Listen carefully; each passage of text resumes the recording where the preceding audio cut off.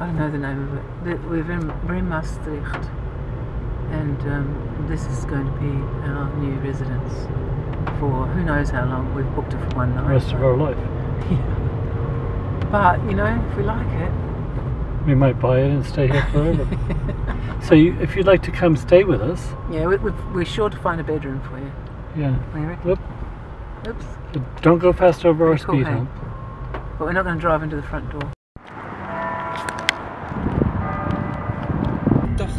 80 meter rechts afslaan. There's Narda taking a picture of, of where we parked the car, so we have some hope of ever finding our car again. There is some debate as to whether Maastricht is the oldest city in the Netherlands. Some people consider Nijmegen as the oldest, mainly because it was the first settlement in the Netherlands to receive Roman city rights. Maastricht never did get those, but it still may be as old or older as a settlement because it can, uh, can claim uninterrupted habitation since Roman times.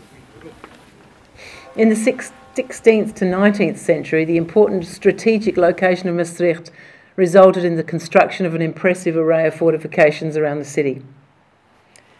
Because of its eccentric location in the southeastern Netherlands, its geograph- geographical and cultural proximity to Belgium and Germ- Germany, integration of Maastricht and Limburg into the Netherlands didn't come easily, and Maastricht has always retained a distinctly non Dutch appearance. During most of the 19th century, it wasn't until the First World War that the city was forced to look northwards.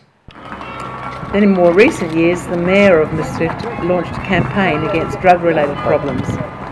He instigated a controversial plan to relocate some of the cannabis coffee shops where the purchase of soft drugs in limited quantity is tolerated.